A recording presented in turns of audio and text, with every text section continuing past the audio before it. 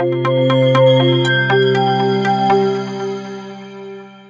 Asia cup 2023 की शुरुआत 30 अगस्त से हो रही है। टूर्नामेंट में टीम इंडिया अपना पहला मैच पाकिस्तान के खिलाफ 2 सितंबर को खेलेगी। एशिया कप में भारतीय बल्लेबाज विराट कोहली की नज़र पूर्व दिग्गज बल्लेबाज सचिन तेंदुलकर के वर्ल्ड रिकॉर्ड पर होगी। एशिया कप के ज़रिए विराट कोहली वनडे में सबसे तेज तेरह हज़ार रन पूरे कर सकते हैं। फ़िलहाल ये रिकॉर्ड सचिन तेंदुलकर के पास मौजूद है। कोहली को सचिन तेंदुलकर के इस वर्ल्ड रिकॉर्ड को धराशायी करने के लिए सिर्फ़ 102 रनों की दरकार कोहली अब तक दो सौ पैंसठ वनडे पारियों में बारह रन बना बना चुके हैं। वहीं सचिन तेंदुलकर ने 321 वनडे पारियों में 13,000 रन पूरे किए थे। ऐसे में कोहली के पास दिग्गज सचिन के इस रिकॉर्ड को तोड़ने के लिए पूरे 55 मौके। कोहली अगर 55 पारियों में भी 102 रन बना लेते हैं तो वो सचिन से आगे निकल जाएँगे। गौरतलब है की एशिया कप में टीम इंडिया अपना पहला मैच पाकिस्तान के खिलाफ खेलेगी। विराट कोहली पाकिस्तान के खिलाफ हमेशा अच्छी लय में दिखते हैं। ऐसे में पाकिस्तान के खिलाफ शत की पारी खेल कर भी वो सचिन तेंदुलकर के इस बड़े रिकॉर्ड को तोड़ वनडे में सबसे तेज तेरह रन बनाने वाले खिलाड़ी बन सकते हैं। कोहली के नाम वनडे में पहले से ही सबसे तेज 8000, 9000, 10000, 11000 और 12000 रन बनाने का रिकॉर्ड मौजूद है। विराट कोहली अब तक अपने करियर में 275 वनडे मैच खेल चुके हैं। इनमें दो